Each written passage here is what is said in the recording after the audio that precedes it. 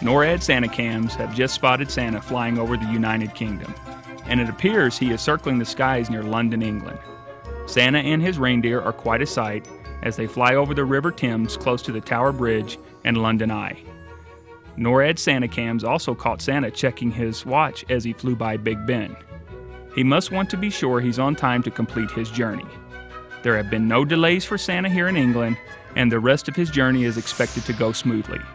For NORAD Track Santa, I am Senior Master Sergeant Ronald Jarber.